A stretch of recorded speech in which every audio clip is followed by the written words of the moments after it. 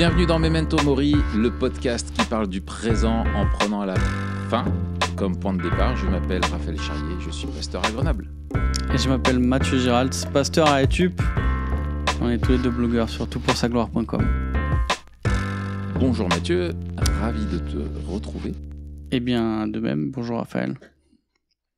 Euh, euh, bonjour à tous. Euh, bonjour à tous. On se retrouve pour ce- cet épisode euh, où on continue notre série sur la masculinité euh, biblique euh, à travers le livre de Nancy Percy. Euh, et, euh, et puis voilà. Ouais, c'est tout. On n'a rien d'autre à dire, on peut y aller direct. On n'a rien d'autre à dire. hein. Non, non, non, on on, y va, on y tout de suite. Ok, c'est c'est bien. C'est l'introduction la plus dynamique que vous ayez jamais eue. Mais on va se euh, rapprocher. Aujourd'hui, Mathieu, on va parler du euh, chapitre 10 et de la réaction de l'Église euh, au problème en fait de la désertion des hommes dans l'Église à la fin du 19e siècle et début 20e. Oui, on a vu que petit à petit, l'Église et la religion, de manière générale, étaient devenues euh, une affaire de femmes. En tout cas, c'est à la fois comme ça que c'était vécu et aussi comme ça que c'était présenté. Mm. Et donc, on va voir un petit peu les, réponses, les réponses qui ont été données pour, euh, pour pallier euh, ce, ce problème. Mm. Alors, c'est- quoi un petit peu la grande idée de ce chapitre? Et Ouais. puis, justement, quelle stratégie les églises ont mise en place pour attirer les hommes? Ouais, la question, c'est euh, vraiment euh, été au donc fin 19e, début 20e, c'était bah, comment les églises euh, peuvent-elles aider les hommes à retrouver leur âme masculine, leur rôle d'homme dans leur famille et dans la société, comment les ramener à l'église et quelles sont les stratégies que l'église peut mettre en place. Et en fait, quand on regarde, alors, elle cite des choses complètement dingues et ça, c'est les États-Unis, hein. Euh, complètement dingue que peuvent faire des églises euh, pour euh, ramener les hommes. Et elle, elle cite qu'il y a des églises, par exemple, qui ont créé un club de, MMA dans le sanctuaire. Ils mettent un octogone et tu peux aller te, battre. Il y a des églises qui font gagner des AR-15. euh, donc, c'est des armes automatiques, hein, des AR-15 euh, à la kermesse de l'église. C'est Enfin, des voilà, des- zinzins. C'est vraiment des zinzins. c'est des fous furieux. C'est des fous furieux. Euh, mais euh, voilà. Donc, euh, du coup, voilà, il y a des choses un petit peu folles comme ça qui se, qui se produisent. Mais derrière, il, il y a une, une motivation qui est de dire si on gagne les hommes, alors on va gagner leur famille. Et si on gagne les Mhm. familles, on va gagner les- les- la communauté. Et si on gagne la communauté, on va gagner bah, le pays, le monde. Euh, et donc, euh, l'idée, c'était de dire, mais en fait, comment est-ce qu'on peut euh, regagner les hommes auprès de l'Église? Et en fait, on le voit avec les exemples que je viens de citer, que c'est toujours une question qui est d'actualité, avec justement des, églises qui font gagner des flingues et, qui organisent des combats, et que ça, a émergé dès la fin du, du 19e euh, siècle. Alors justement, comment ça, comment ça a commencé? C'était quoi un petit peu le, le- la première, euh, la première impulsion? En- Entre parenthèses, on va le voir, et on va le voir surtout la semaine prochaine, que cette intuition, elle est bonne. C'est-à-dire que si on gagne les hommes euh, à l'Église, et alors nous, quand on dit à l'Église, c'est pas à l'institution. euh, Si, Oui, oui. si, si les hommes sont des chrétiens fidèles, Mm. eh bien, il y a plus de chances pour que euh, leur famille soit aussi euh, euh, des, des chrétiens engagés. Donc euh, ça, on le, on le verra. Mais le, le- en fait, le paradoxe qu'on va voir et l'ironie même dans aujourd'hui, c'est qu'en fait, l'Église essaye de de de- d'appâter entre guillemets les hommes en jouant le script de la masculinité d'une mascu- du, du du bonhomme quoi, du ça. Du vrai homme entre guillemets. C'est ça. En fait, l'erreur qui a été faite par beaucoup de mouvements, ça a été justement d'utiliser le script du monde pour ramener les hommes à l'église, ce qui est un peu un comble. Euh, mais euh, ouais, le, un des, elle, mentionne plusieurs mouvements, alors que bon, nous, on, est, on est totalement étranger à ça, mais, euh, mais qui ont eu quand même des, des une importance derrière, on, on, y reviendra dessus. Notamment la création de la muscular Christianity, donc le, le, christianisme musclé, on pourrait le traduire comme ça un mouvement qui a débuté avec la YMCA, euh, connue euh, chez nous euh, pour la question, pour la chanson des, Village, People.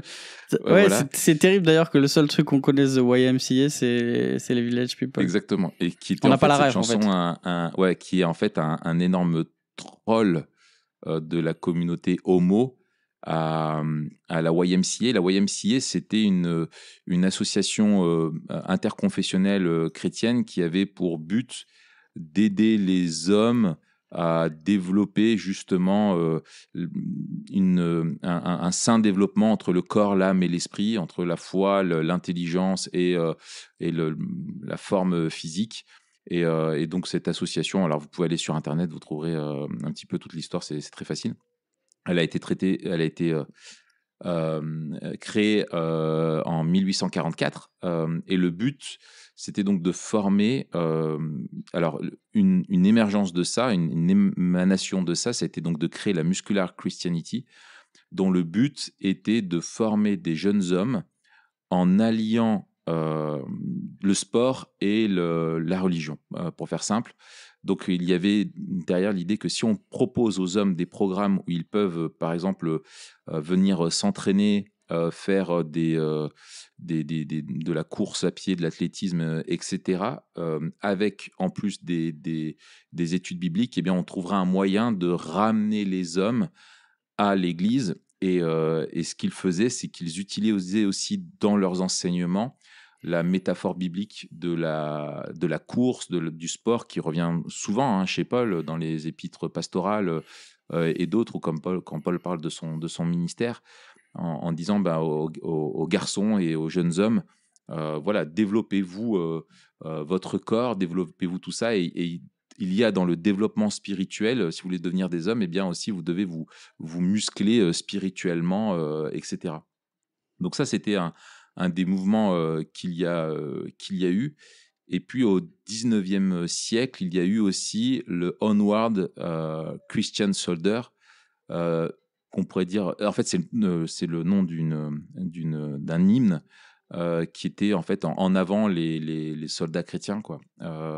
et en fait, les églises utilisaient aussi la métaphore donc de l'imaginaire militaire euh, en produisant des, hymnes, euh, de la littérature, euh, etc., qui s'imprègnent en fait du champ sémantique du, combat, de la guerre, pour rappeler aux hommes que quelque chose que nous on, fait avec le avec le maquis, hein, avec la résistance culturelle, qu'il y a une réalité d'une guerre spirituelle. Hmm. et donc elle, elle rappelle donc plusieurs auteurs qui s'inspiraient de ça et elle évoque notamment aussi comment C.S. Lewis justement euh, utiliser cette métaphore de la guerre, qui est aussi une métaphore euh, clairement euh, biblique, hein, dans laquelle, bah, voilà, sur Terre, il se passe quelque chose. Et en fait, la vocation qu'il y avait, vraiment, elle souligne dans, ce, dans ces, dans ces émanations-là qu'il y avait vraiment quelque chose de, de bon qui devrait nous inspirer. C'était que, en fait, on, doit se réapproprier les les commandements qui ont été donnés, notamment par Moïse à Josué, euh, ou d'autres que en fait on, nous devons être forts et courageux, qu'on ne doit pas. Enfin voilà, on connaît Josué chapitre 1 verset 9. Hein, N'étais-je pas ordonné, sois fort et courageux, ne sois pas effrayé, ne te décourage pas, que le Seigneur ton Dieu sera avec toi partout où tu iras. Et, donc ce, ces mouvements-là voulaient rappeler aux hommes d'être courageux et virils, et, et, il y a quelque chose de bon là-dedans. Où nous sommes appelés justement à être des hommes courageux, mais de bien, en, tout en comprenant bien euh, ce qu'est le combat euh, spirituel, que c'est pas un combat qui est, euh, qui est physique, qui est d'hommes contre d'autres hommes, mais qui est contre les systèmes de pensée du monde où nous devons nous battre à travers la vérité, en nous appropriant la vérité et en la prêchant et en se l'appliquant à nous-mêmes. ouais, c'est ça. Et, alors peut-être on peut euh, on peut partager la, la citation de C.S. Lewis là qui est excellente. Ouais, vas-y. Euh, donc, euh, il, il, parle de l'univers comme un territoire occupé par l'ennemi. Il dit le christianisme est l'histoire de la manière dont le roi légitime a débarqué, pourrait-on dire déguisé, et appelle chacun de nous à prendre part à une grande campagne de sabotage. Et en fait, c'est vraiment cette, cette idée de, de, de, résistance. Et puis, euh, euh, Percy, elle explique dans cette campagne, le chrétien, les chrétiens se battent pour repousser le pouvoir de Satan et récupérer le territoire de Dieu en restaurant son règne légitime sur chaque domaine de la vie. Donc voilà, encore, encore une, euh, encore une preuve que la, le maquis eschatologique, c'est pas, c'est pas nouveau. Euh, c'est pas un truc sorti de, de nulle part. Hein, euh. C'est validé par euh, Lewis. C'est validé par C.S. Lewis. Je pense qu'on va faire une petite image comme ça. Je valide, je signe. Ouais, c'est ça. C'est ça. Recommandé par C.S. Lewis. Et, et, et, quelque part, voilà, on reconnaît la légitimité de, on reconnaît la légitimité d'utiliser euh, la manière dont l'écriture euh, nous appelle à vivre dans ce monde comme dans un comme dans une bataille, comme dans une guerre, on est engagé dans une guerre, etc. C'est ça. Le problème, ça va être de ben, euh, quelle quelle euh, quelle euh, masculinité cela nourrit-il? Est-ce que ça fait... nourrit une masculinité biblique ou justement est-ce que ça nourrit un script mauvais quoi? Exactement, c'est tout à fait ça. L'idée, c'est clairement euh, euh, que la, la Bible s'adresse aux hommes d'une manière virile, euh, clairement, en leur demandant d'assumer d'être euh, des hommes, d'être forts et courageux, etc. La question, c'est euh, quand nous on lit ça, est-ce qu'on le lit avec nos présupposés séculiers de la mauvaise masculinité ou avec, avec l'intention qu'a la Bible pour les hommes? Mm. Et c'est ça, on, on, le voit qu'il y a eu euh, justement des tensions euh, petit à petit dans le dans l'Église, et on va on va y revenir un petit peu plus tard. mais ce qui est important de, de, de constater aussi, ce qu'elle rappelle Nancy, c'est que en fait le 19e siècle, c'est aussi l'émergence très forte, la grosse poussée du libéralisme. Euh, et face au libéralisme, ces mouvements-là euh, vont avoir un impact, euh, vont, vont, il va y avoir une convergence avec la lutte euh, pour le fondamentalisme, euh, qui était le mouvement qui résistait au libéralisme. Alors mmh. aujourd'hui, hein, le, le, le, fondamentalisme est, euh, connoté négativement dans les milieux chrétiens. C'est une espèce de, conservatisme un peu aveugle euh, euh, excessif, euh, inintelligible et très légaliste parfois et qui flirte des fois avec un, conservatisme politique euh, euh, presque civilisationnel aux États-Unis, etc. Enfin bref, euh, un petit peu avec tout ça.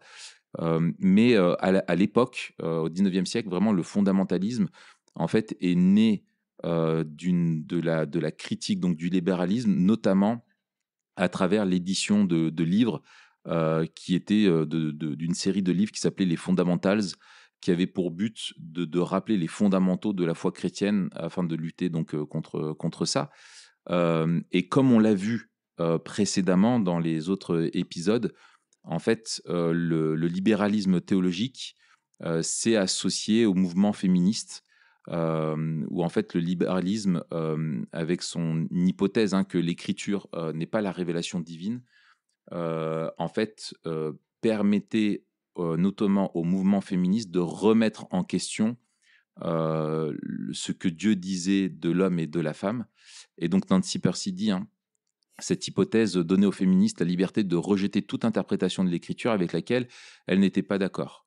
Comme l'écrit un historien, les féministes radicales ont reçu la critique supérieure allemande, donc euh, le, libéralisme, comme un cadeau du ciel.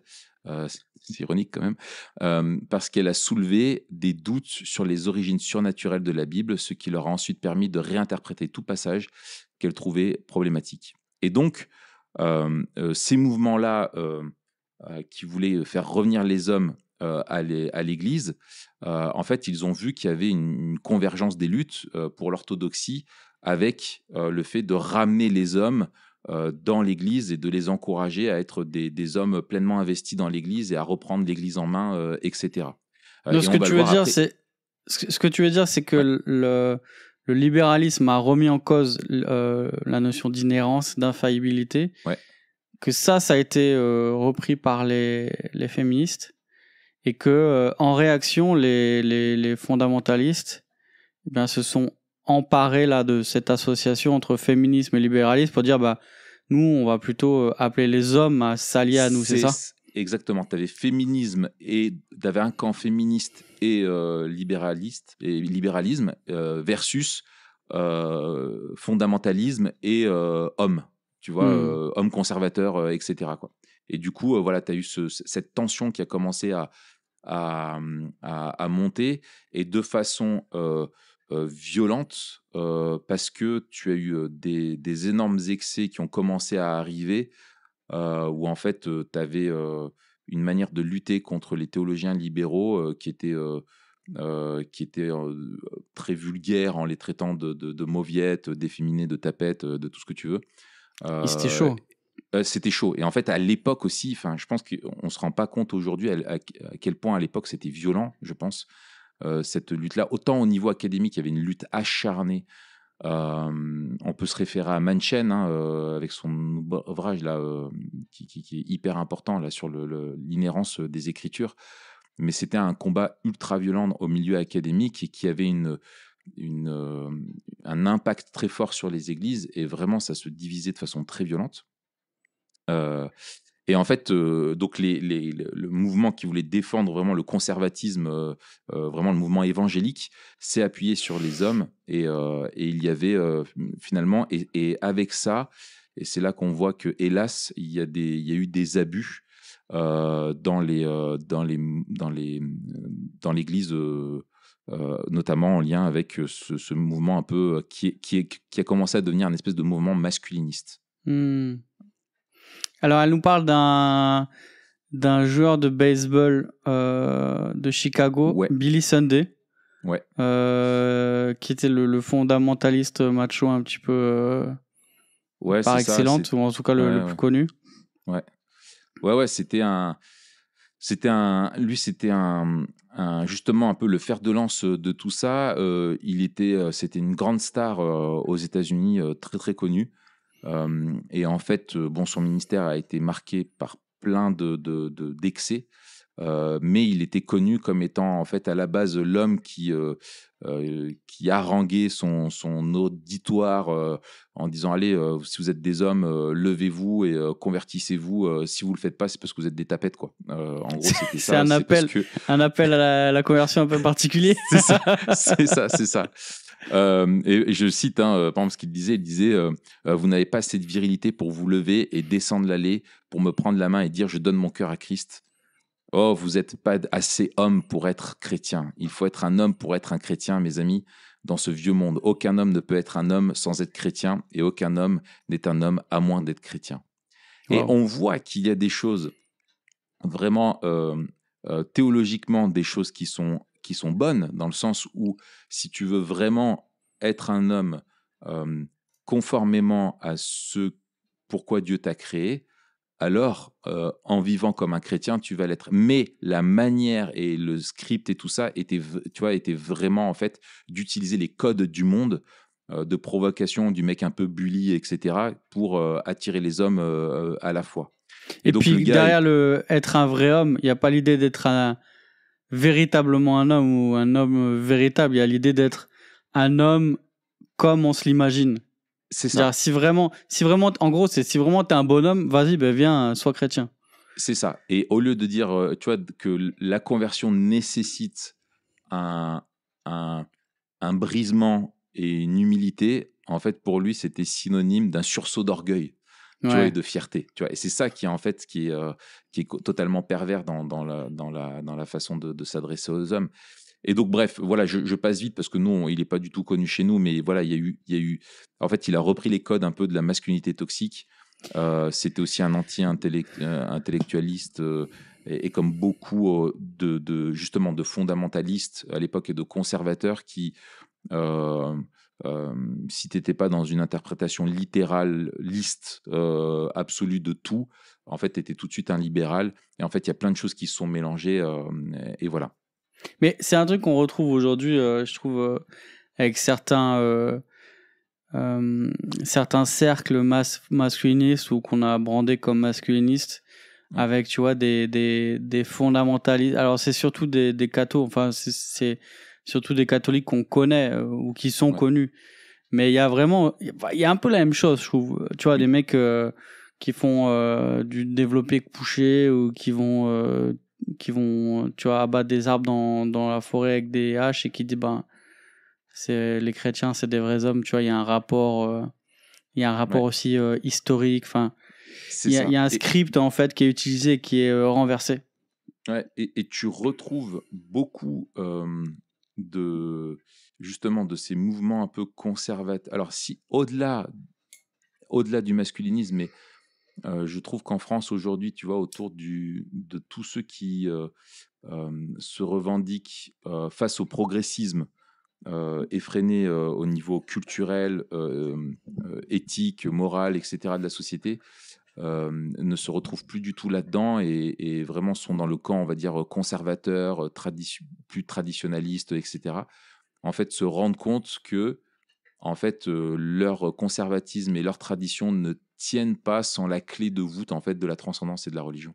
Mmh. Et tu as un retour du coup au catholicisme très fort, mais qui est pas euh, alors culturel. je ne présume pas, mais voilà, qui est culturel, civilisationnel, euh, etc. En disant, mais en fait, la France d'avant, pourquoi elle tenait? Bah, Parce que c'était une France qui était catholique, tu vois. Hmm. Euh, alors, si ça peut permettre à, des personnes de se rapprocher, de se reposer la question de Dieu, il faut s'en réjouir. mais mais ce que pour nous, en tant que chrétiens évangéliques, la réponse, elle n'est pas culturelle, elle est vraiment spirituelle euh, avant tout, il faut euh, euh, rencontrer Dieu en personne et on a besoin en fait de la transformation intérieure que doit produire l'Esprit Saint en nous. Hein. C'est mmh. sûr.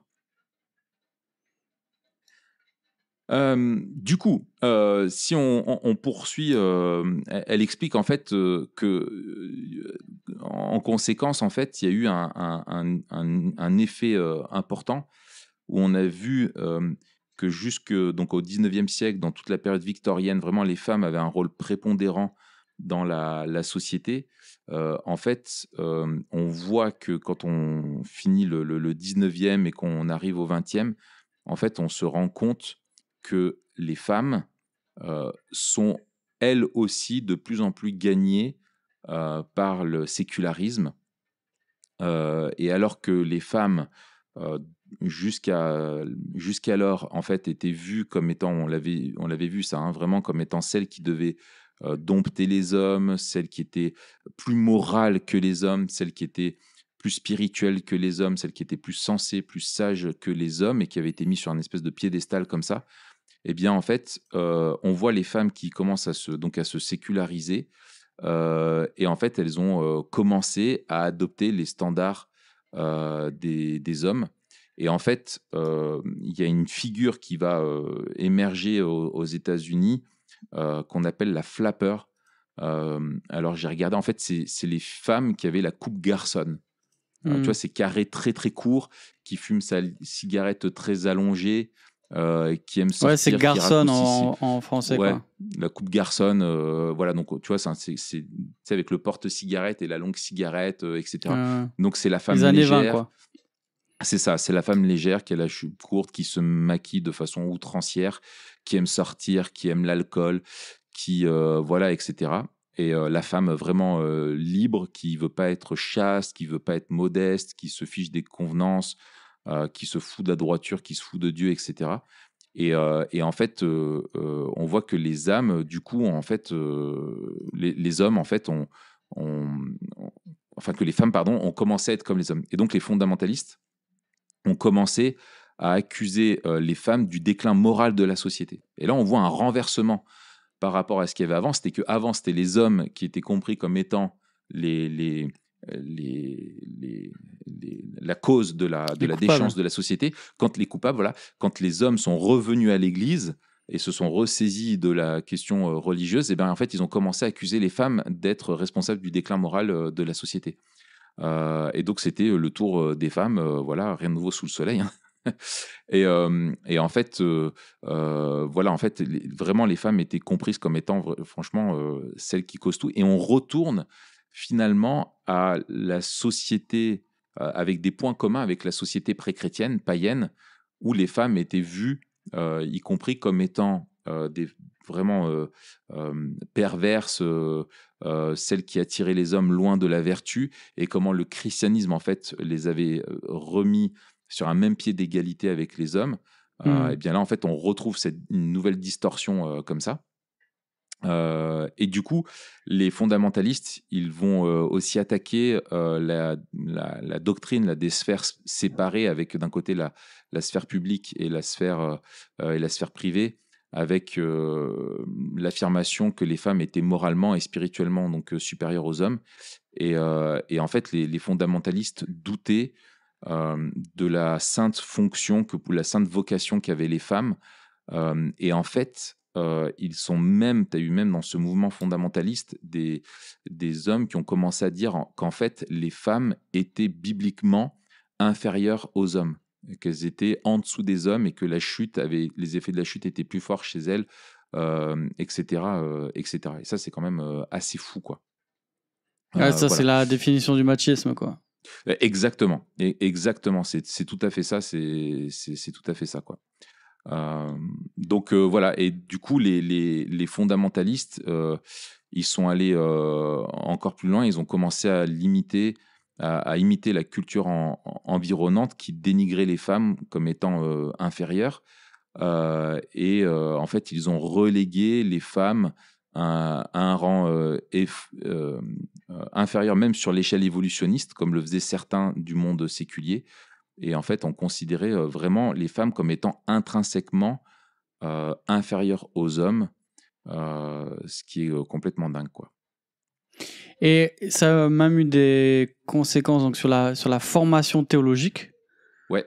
Euh, il y a eu des, des quotas qui ont été, euh, euh, qui ont été institués par rapport aux femmes qui, qui se formaient. Ouais. et elle, part, elle parle de, d'un, exemple en particulier à, à Maudit. Ouais.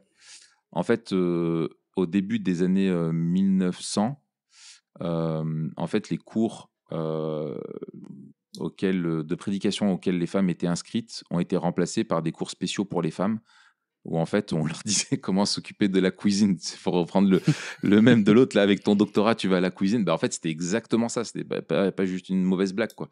C'était vraiment, euh, elles apprenaient la culture, l'artisanat, la gestion de la maison, euh, etc. Alors euh, qu'elles venaient pour être formées, pour être missionnaires, évangélistes. Et, et, en fait, avant, avant les années, enfin avant le début du XXe siècle, euh, en fait, les femmes allaient se former euh, pour être justement en théologie, euh, pour être des missionnaires, des évangélistes, des diaconesses, des enseignantes, des responsables d'école du dimanche, des administratrices d'écoles chrétiennes, des, des, profs dans les écoles chrétiennes, etc. Et en fait, avec ce mouvement-là, en disant la femme, on peut pas lui faire confiance, ce mouvement machiste en fait qui est né, eh ben, en fait, on les a cantonnés euh, on les exclut de tous les ministères, sauf en, voulant vraiment les cantonner finalement à ce que leur rôle dans le euh, dans les euh, dans le dans la maison quoi, avec des discours dans les églises vraiment machistes vis-à-vis des femmes et qui rabaissaient les femmes en disant clairement que la femme est moins l'image de Dieu que l'homme, que les hommes doivent surtout pas laisser la femme diriger l'Église, que ce sont des, vieilles poules impies, etc. Et que les, femmes doivent, dans tous les cas, à cause de leurs conditions, se soumettre à leur mari, même s'ils sont alcooliques, même s'ils sont violents, etc. Parce qu'elles, elles sont inférieures. Et peut-être là, ça vaut le coup de, prendre une minute pour parler de, notre position.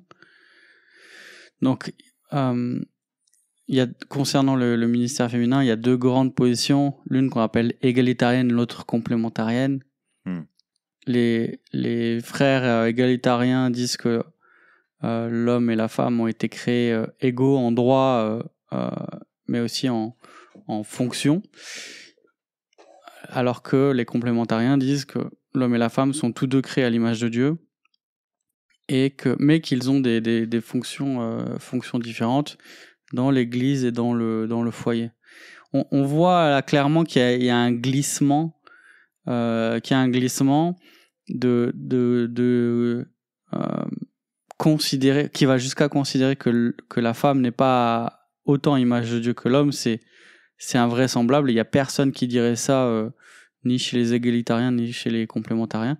Oui, et je crois fait. que ce serait aussi un faux procès de dire que euh, les complémentariens ressemblent à ce dont on est en train de parler là, à, à, au oui. Moody Bible Institute. Parce que. Euh, de la même manière la... que de dire que les égalitariens sont des libéraux, c'est ça. C'est de la caricature, quoi. Parce qu'il n'y a pas de chez, chez les complémentariens, chez, tu vois, on peut parler pour nous. On n'est pas les porte-parole de tous les complémentariens, ouais. mais, mais nous, par exemple, qui, euh, qui sommes complémentariens, euh, on forme autant de, de, de femmes que d'hommes. Moi, dans mon église, je forme autant de, de femmes que mmh. d'hommes. Et en fait, la, la, question de la formation, euh, elle n'est pas que liée à la question de, la charge ou de la fonction, parce que je forme aussi beaucoup plus d'hommes que j'ai d'anciens dans l'église. Donc, mmh. Euh, et, et, et, ça, faut le redire. Nous, on, on, on insiste sur la sur la nécessité de, de, former des hommes et des femmes dans l'Église. Ouais. Euh, parce qu'on ouais. a autant d'enseignants femmes que hommes dans l'Église. Et donc ça, il y a, y a, vraiment un truc où il faut faire attention à, à, à pas dire, bah si tu penses que euh, euh, une femme peut pas être ancien ou pasteur, alors ça veut dire que tu as pas formé les femmes, ou alors ça veut dire que tu penses que c'est pas euh, ni utile ni nécessaire. Euh, et tu vois, euh, finalement, le Moody Bible Institute, comme il a fait, parce que là, ils ont, ils sont revenus hein, là-dessus.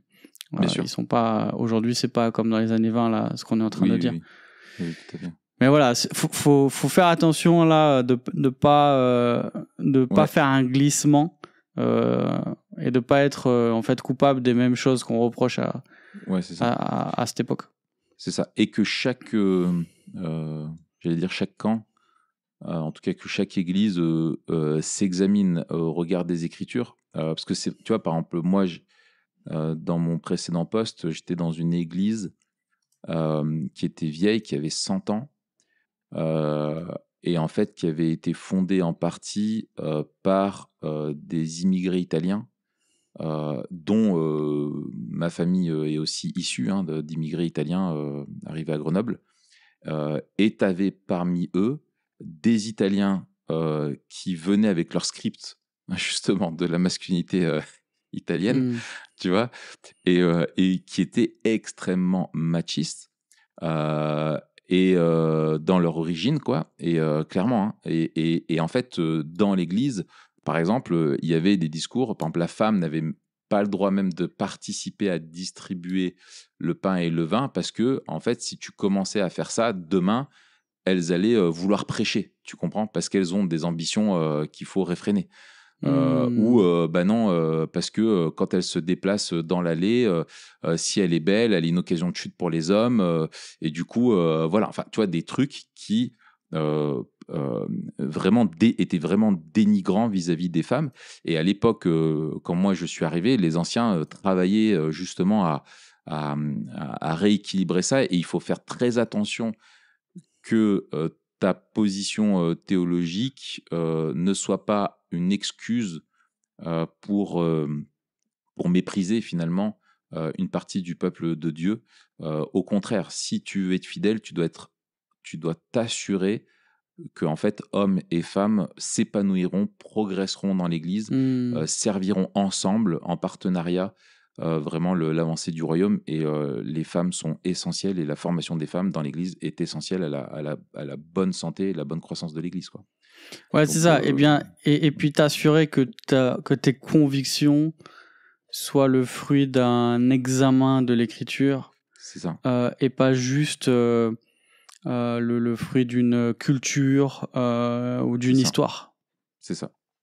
C'est ça. Des fois, l'histoire et la culture euh, excusent le, le, péché finalement.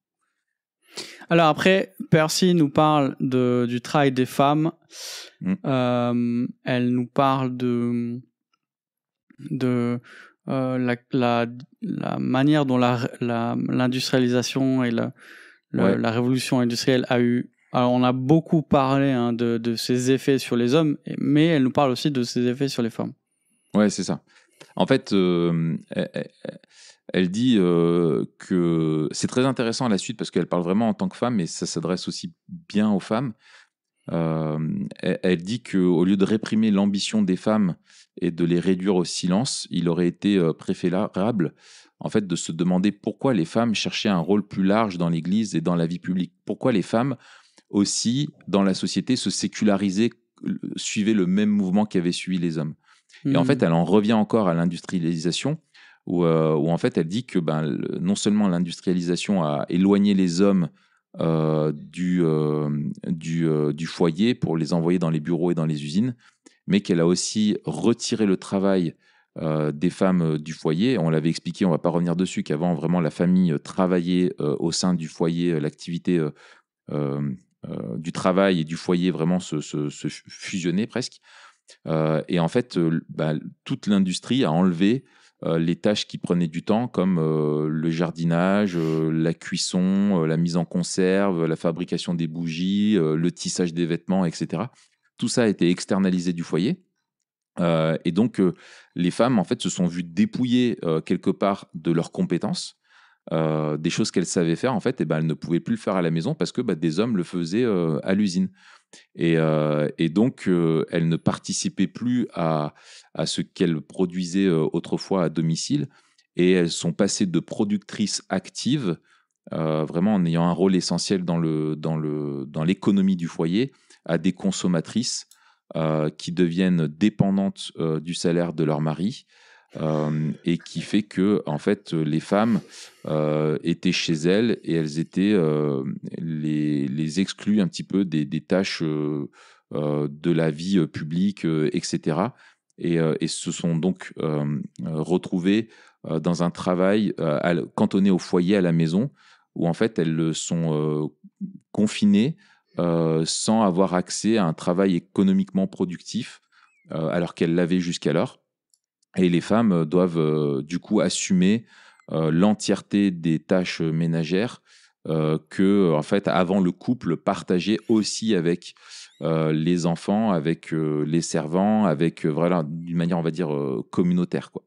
Et du coup, le résultat, c'est que les femmes, eh ben, en fait, elles se sont retrouvées énormément isolées, supportant toutes les tâches domestiques.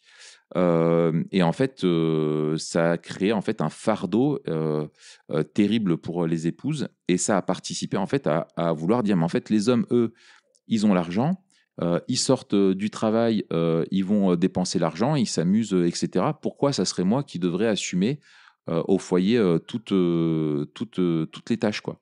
Mmh. et du coup, ça a poussé beaucoup de femmes à se séculariser, à vouloir choper les coupes garçonnières, ressembler aux garçons, euh, en fait ressembler aux hommes, euh, pas dans le, dans le fait vraiment d'un point de vue pas physique, mais euh, dans la manière de vivre, dans le statut, dans la manière de vivre, dans les libertés qu'ils avaient, dans et tout ça quoi. Et donc ça a vraiment concouru à ça.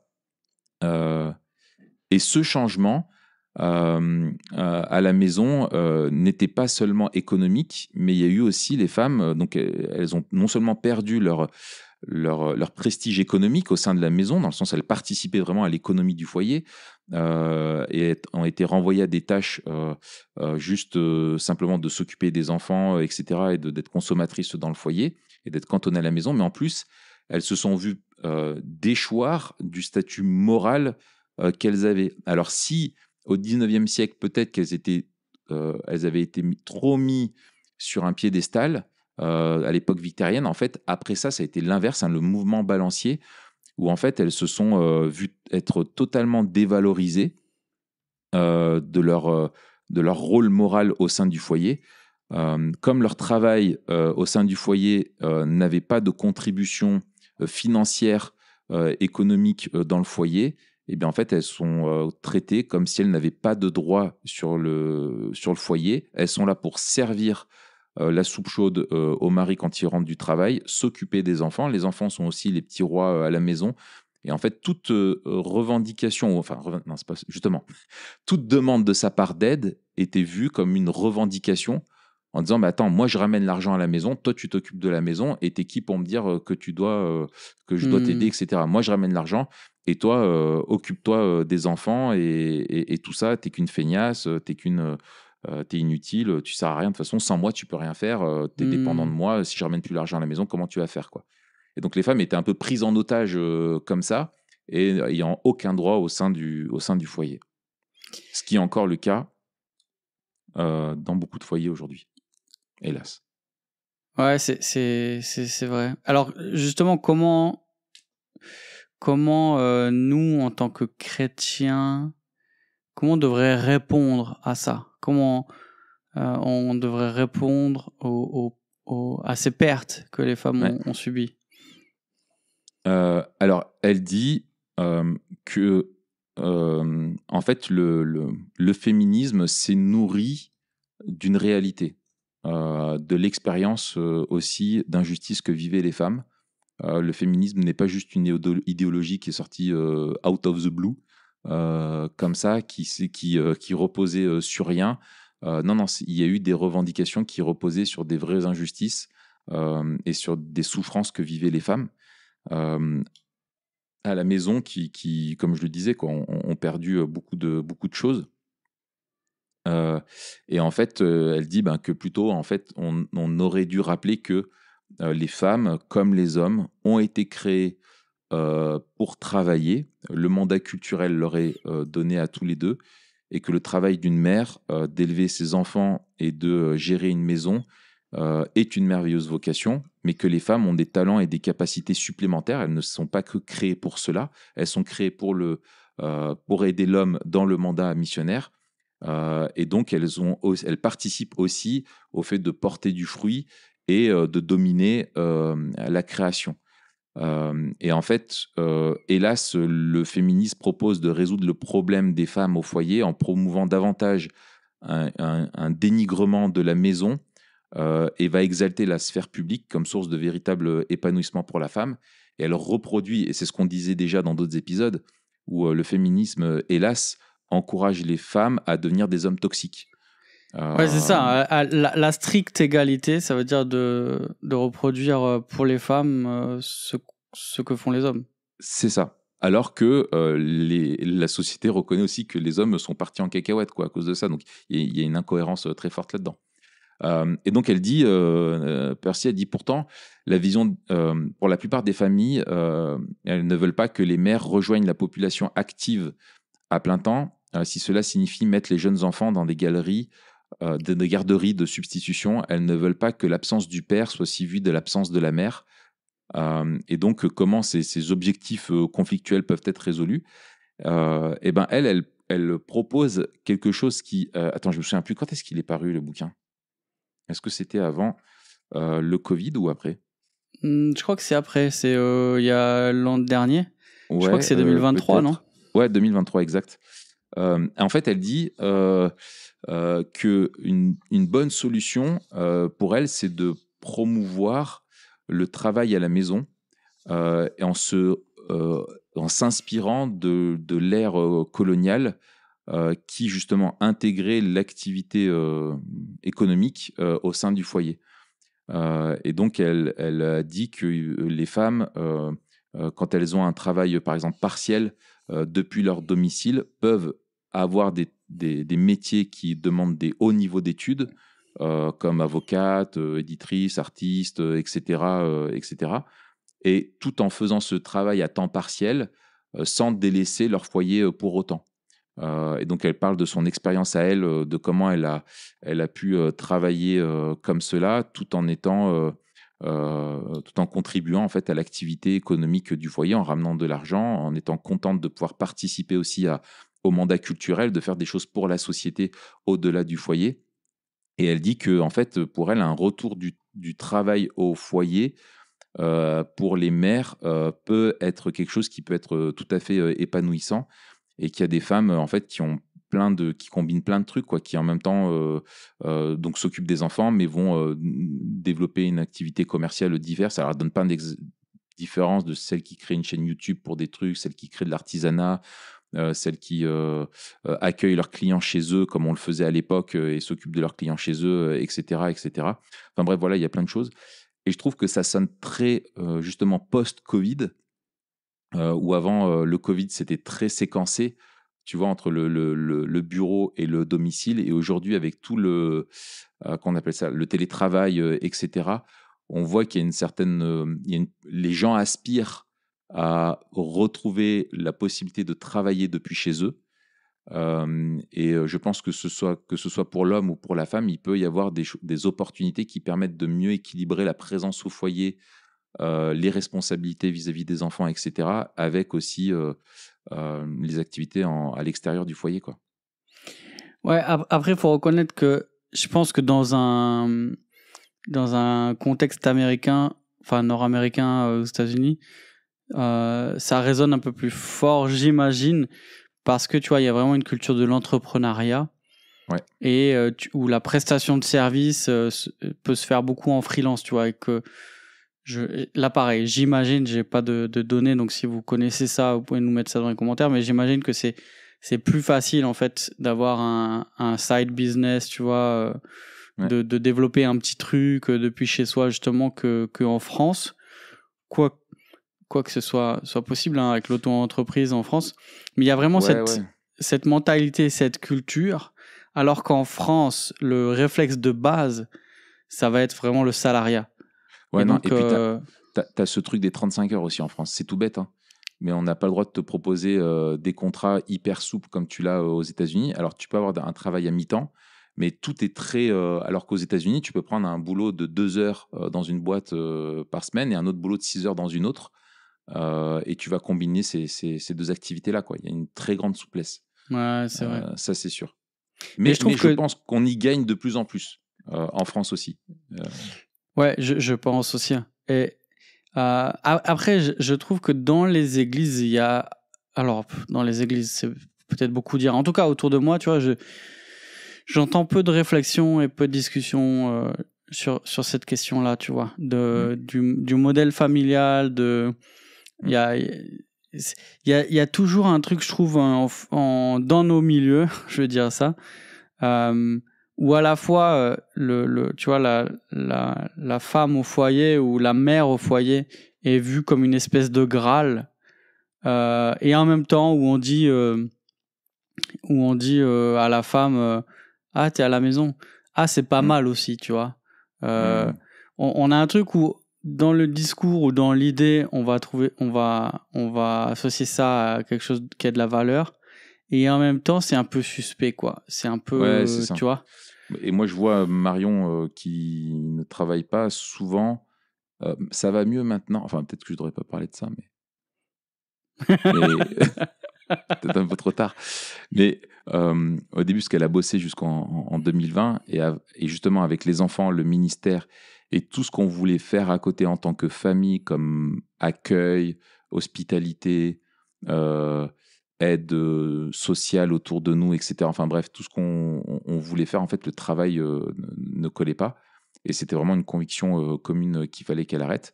Mais je sais que ça a été une, vraie lutte. Et au début, il y avait souvent besoin, enfin le, sentiment de devoir beaucoup se justifier de pourquoi on le faisait, surtout qu'en plus économiquement, bah voilà, pasteur, tu connais, hein voilà, et quand tu vis juste avec un salaire de pasteur pour la famille, c'est très, tu vis modestement, mais en pesant les pour et le contre, tant que c'était possible, on s'est dit, on, veut le vivre parce que c'est, en fait, c'est génial. Mmh. et, et c'est vrai que ouais, tu dois beaucoup te justifier aujourd'hui parce qu'il y a vraiment ce script là très important de dire que le foyer a moins de valeur que ce qui est à l'extérieur du foyer. Et ça, le, monde a réussi à mettre ça en avant. Euh, et hélas, tu trouves aussi certaines familles, euh, c'est triste de voir certaines familles où, en fait, tu n'as jamais personne au foyer. Les parents travaillent des deux comme des dingues. Les enfants, euh, ils sont à l'école, ils sont en plus dans tous les trucs périscolaires. Euh, ils font euh, 10 activités derrière parce qu'il faut qu'ils soient bilingues, faut qu'ils soient des artistes, faut qu'ils soient des sportifs, faut qu'ils soient etc etc. Tu vois, donc ils ont les écoles de musique, les, les clubs de sport, les machins, les, les clubs de langue en plus euh, et tout ce que tu veux. Et en fait, euh, bah, c'est le, c'est le monde, c'est la société qui éduque tes enfants et c'est plus les parents, quoi. Euh, Que ce Hmm. soit le père qui donne trop de travail et que ce soit la mère qui veut vivre comme le père et qui se bat pour, euh, euh, pour ça, quoi. Donc ça, c'est triste. Hmm. Ouais, c'est clair. On ne mesure pas les conséquences de ça, je pense. Voilà euh, pour, euh, pour euh, ce, chapitre. Matt, de quoi on va parler? C'est quoi la suite de, de la réflexion finalement pour ça par rapport aux, hommes?